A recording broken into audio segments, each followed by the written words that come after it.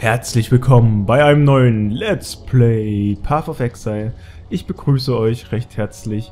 Mein Name ist Ocomic und ich hoffe, ihr seid meine Ocomic Buddies, meine Abonnenten, Freunde.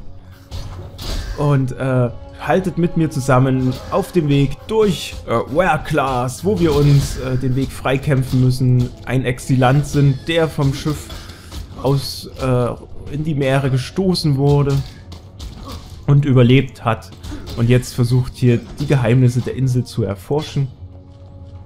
Wir müssen da lang, denn da oben scheint eine rote Tür hindurch.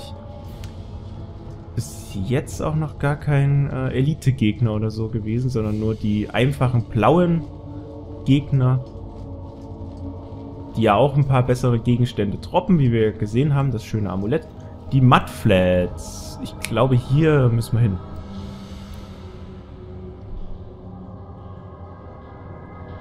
Ja, die Mudflats ist es, glaube ich, gewesen. Oder bin ich jetzt falsch? Ah, ich bin falsch, oder?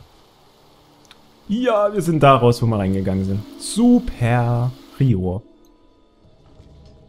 Gut, dann war doch hinten äh, der Ausgang richtig gewesen. Wir sind Level 8, schon auf 66% wieder. Haben uns also fleißig vorangekämpft gehabt in den letzten Folgen. Wie gesagt, durch einen Charakter-Vibe sind wir ja leider wieder zurückgesetzt worden. Ist aber ja nicht so tragisch, man kann es ja einfach nochmal machen. Auch unsere Gegenstände haben wir verloren, aber dafür haben wir wieder ein paar gute Gegenstände gefunden. Also wir haben sogar schon einen legendären Gegenstand, einen raren Gegenstand sozusagen äh, gefunden. Also einen braunen, sage ich mal, einen braunen Gegenstand. Was ja auch immer sehr großer Zufall ist. Und äh, wer sich das gefragt hat, ja, auch die Gegenstände, mit denen man seine Rüstung und seine Schwerter und alles mögliche verbessern kann, können, äh, naja, wie soll, ich, sagen, ähm, können hochwertiger sein als andere, die man findet. Also Creparian, der hat da letztens ein, eine Tabelle gehabt, wie viel jedes dieser Orbs und äh, Objekte, diese, die man tauschen kann, das sind ja die Sachen, mit denen man handelt, anstatt Gold, ähm, was denn wie viel wert ist quasi. So können wir noch den Edelstein aufleveln. Und da gibt es wohl eine Tabelle, die man sich ansehen kann.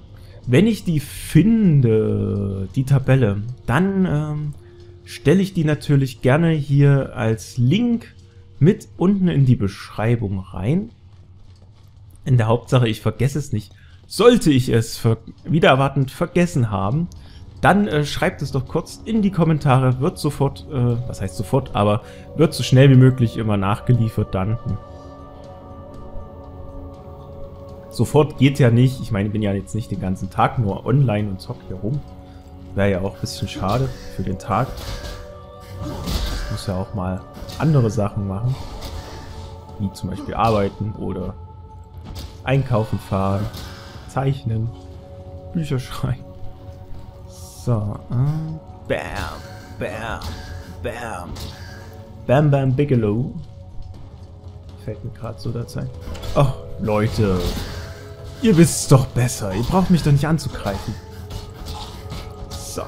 Und noch ein Rundumschlag. Also der Rundumschlag hier, den wir haben. Wie heißt der nochmal? Der Sweep. Wenn ihr den finden solltet, dann äh, rate ich euch, den auch zu benutzen, denn wie ihr seht, kann der sehr hilfreich sein. Haben wir hier noch irgendwas? Ich dachte vorhin, ich hätte noch eine Kiste aus dem Augenwinkel. Erspäht. Aber das war dann wohl nicht. Ach nein, schon wieder ein Spawner. Die Spawner auf jeden Fall zuerst töten. Sonst spawnen die immer weiter. Wie gesagt, äh, diese Viecher hier. Und in den späteren Leveln spawnen die, glaube ich, auch nicht nur diese ekligen kleinen Viecher, die man so einfach töten kann, sondern noch andere und das Tolle ist ja, jetzt wo äh, die Open Beta Phase gerade begonnen hat, haben die Entwickler auch äh, ein neues Level fertiggestellt, was wir dann auch mit hier zocken können in dieser Beta Phase, in der Open Beta Phase. Ähm, das heißt sozusagen ein Level mit Charakteren äh, oder Gegnern, was ich selber auch noch nicht gezockt habe bisher. Da bin ich schon ganz gespannt drauf, was sie sich da haben einfallen lassen und hoffe ja, dass es was richtig äh, Tolles ist.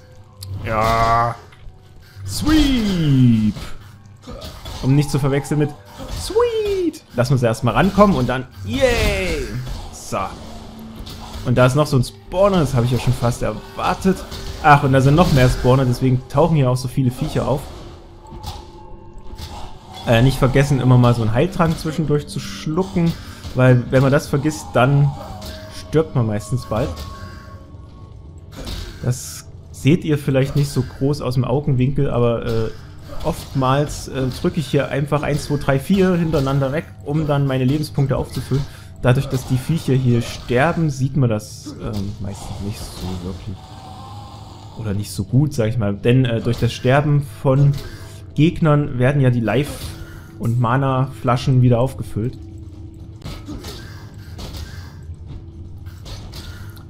Es ist so schwierig, äh, das Spiel, wenn man das auf... Oh, ein Orb. Äh, wenn man ein Spiel auf Englisch spielt, dann äh, auf Deutsch groß immer zu kommentieren. Man rutscht dann so einfach ins Denglische mal rein und äh, erzählt dann auch einfach mal was Englisches zwischendurch. Ich meine, warum sollte ich jetzt auch einfach immer Scroll of Wisdom übersetzen mit Rolle der Weisheit, äh, wenn doch äh, ihr auch auf dem Monitor seht, was da angezeigt wird. Also Scroll of Wisdom. The Ledge. Müssten wir da hin zum Ledge? The Ledge. Entering the Ledge. Dann entern wir mal die Ledge.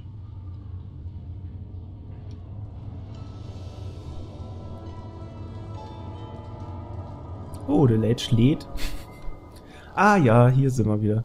Das letzte Mal sind wir auch hier rausgekommen. Ah, wie ihr seht, äh, auch die Random Map. Das letzte Mal ging es links lang, diesmal geht es rechts lang. Und hier haben wir natürlich wieder unsere Untoten. Ach, und sind auch gleichzeitig ein Level aufgestiegen. Was natürlich sehr gut ist. So, jetzt gibt es erstmal auf die Mütze. So Untote kann man am besten, glaube ich, auch... Jetzt gehen wir mal auf Stärke. Denn ich möchte ja eigentlich hier rüberkommen. Damit wir auch richtig gut austeilen können. Und dann können wir hier auf dem Skillbaum eventuell weitermachen oder können uns entscheiden, dann eventuell hier lang zu gehen. Zu den Mace Damage, also dieses, diesen Hammer-Sachen. Deswegen würde ich auch gern, wie gesagt, die Hammer benutzen, weil wir hier gleich am einfachsten mit rüberkommen werden. Bei dem Skillbaum, den wir so angefangen haben. Man kann natürlich auch auf Äxte gehen. Jetzt, wo wir eine Axt haben, können wir auch sagen, ach, naja, gehe ich mal im Skillbaum äh, eher auf Äxte. Aber dann findet man nachher natürlich wieder den ultimativen Hammer oder sowas. Ach, der war noch nicht tot. Entschuldigung, mein, mein Fehler. Oh, wo geht's denn hier lang? Orb of Augmentation, also wieder ein Orb gefunden. Also es freut mich ja immer, wenn wir Orbs finden. Chest. Und jetzt ist irgendwo ein Ring gedroppt. Das habe ich gehört. Portal Scroll. Ein Power Ring. Ein Ring der Power. Ein Power Ring. Ich habe die Power. Maximum Mana. Wir haben 24 und hier haben wir Leben. Hier haben wir auch schon 20, also ist nicht so gut wie der, den wir eh schon haben. Jetzt müssen wir uns mal auf der Karte ein bisschen umschauen. Achso, ja, ähm, gerade nochmal in die Optionen reinschauen. Keys, UI, äh, Show Map, Autosender Map. Also hier kann man auch verschiedene Sachen einstellen. Und hier kann man auch ähm, einstellen, Always Show Sockets. Das ist dann, dass euch immer die äh, Sockel angezeigt werden von den Items. Key Pickup. Items can only be picked up when the item highly key is down. Ja, also, dass ihr nicht aus Versehen ähm, Items einsammelt, das kann man auch einstellen. Auto-Equip, also wenn ihr was Besseres findet, dann wird es automatisch. Full Description, Le Live Mana Level, ähm, Corpse Targeting, when Key held A, Always Enable, Hide Global Chat, Hide Trade Chat, Mouse Wheel Zoom. Ja, äh, hier, wie gesagt, verschiedene Sachen, die man einstellen kann. Den Sound, die Grafik nochmal. UI, die Game-Dingens. Äh, Close. Und, ähm, ja, wir gucken mal, hier sind wir und da wollen wir eigentlich hin. Und da sind wir, glaube ich, hergekommen. Und hier muss auch irgendwo auf dieser Karte ein Wegpunkt sein, äh, wo wir uns dann wieder porten können, dass wir dann nicht wieder immer die ganze Zeit durch diese Höhlen latschen müssen. Den suchen wir jetzt. Chest. Barrel. Noch ein Barrel. Noch ein Fässchen. Oh, noch eine Kiste. Was ist denn da drin? Überraschung. Oh, I cannot carry this. Warum nicht? Und warum begebe ich mich da eigentlich so rein? Na, einfach um das hier zu machen.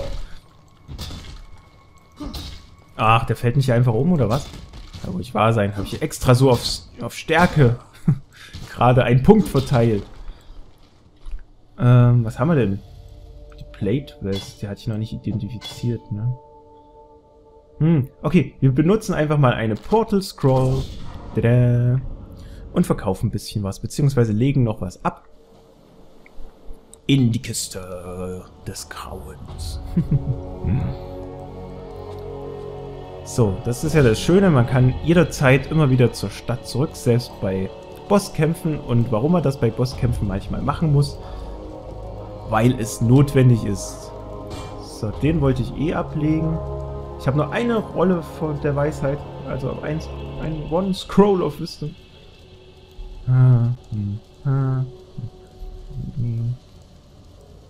Was haben wir denn hier? Hier haben wir ja auch schon einen guten, ne? 9 bis 14, 11 bis... Ja, hier haben wir es noch nicht identifiziert. Hm. Naja. So viel besser war mhm. jetzt auch nicht. Ah, hier sieht man auch die verschiedenen Spieler, die hier sich rumtreiben. Sell-Items! Ah, schade, aber er ist halt nicht so besonders hier. Plate Vest. Den haben wir schon identifiziert. Müssen wir ein bisschen mehr bekommen. Ja, das sieht gut aus. Und den Ring, den brauchen wir auch nicht mehr. Achso, die äh, Gauntlets, die Handschuhe haben wir ja auch noch.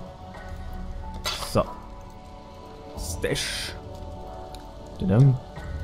Ja, das haben wir gefunden. Den Orb of Augmentation.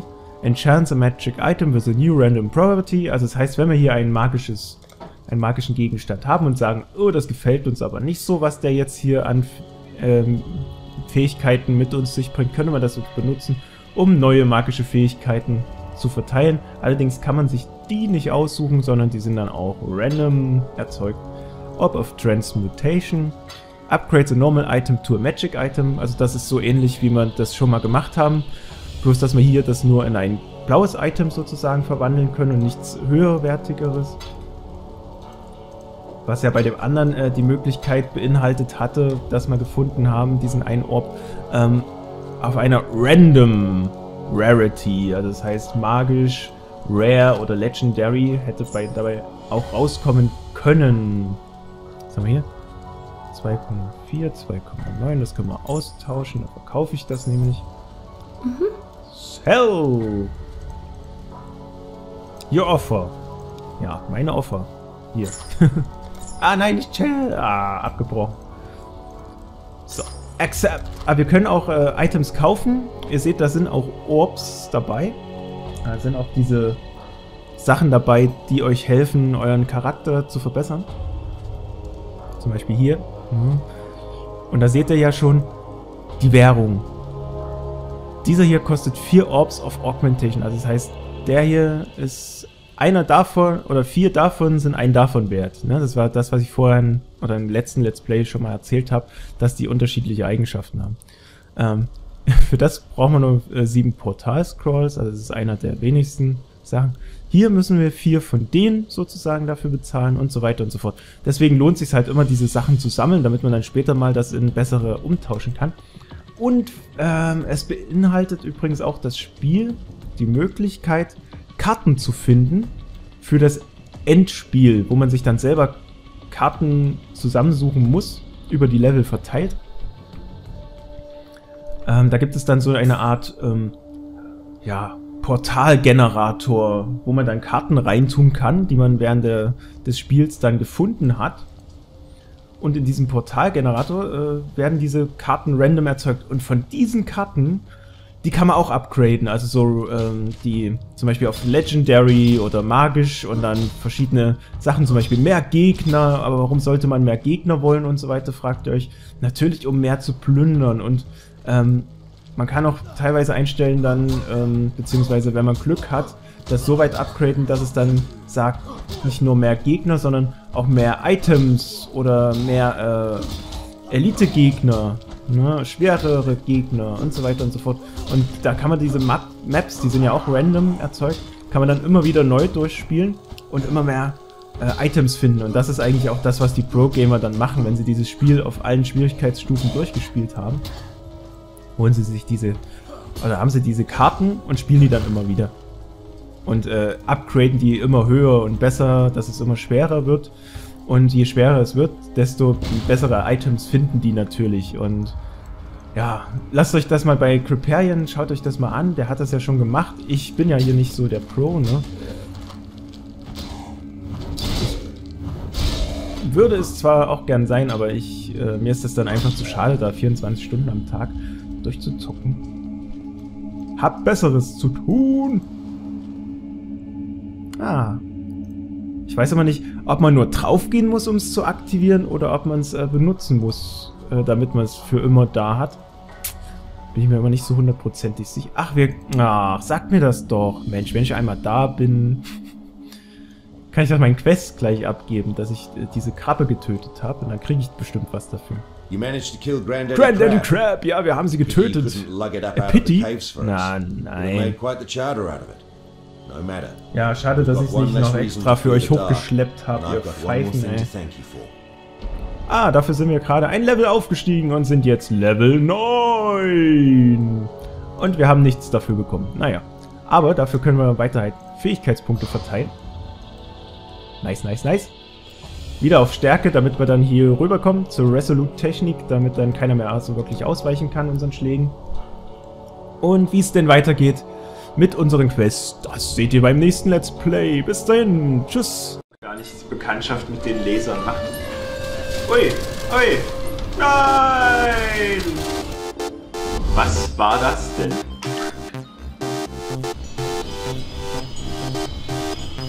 So äh, hatte ich mir das sowieso vorgestellt. Ich wollte einfach mal zeigen, was passiert, wenn der Becher umfällt. Habt ihr euch sicherlich schon gedacht. Ja, das haben wir uns schon gedacht, aber